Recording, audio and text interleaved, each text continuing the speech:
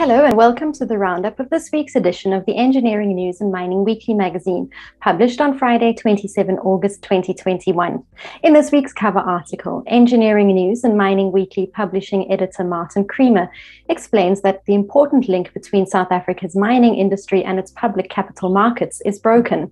With South Africa needing more listings on its stock exchanges, what can be done to encourage companies in general and junior mining companies in particular to go public?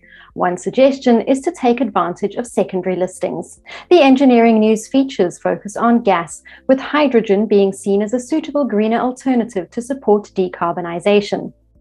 Women in industry, where free courses for women promote involvement and laser technology, where a specialist company offers laser cladding services to industry.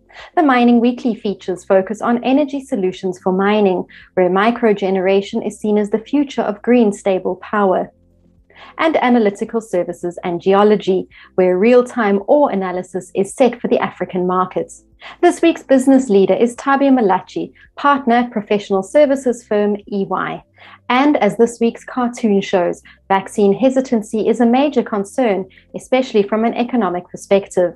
We hope you enjoy this week's edition of Creamer Media's Engineering News and Mining Weekly, the magazine that offers you news about developments in the real economy. Happy reading and see you next time.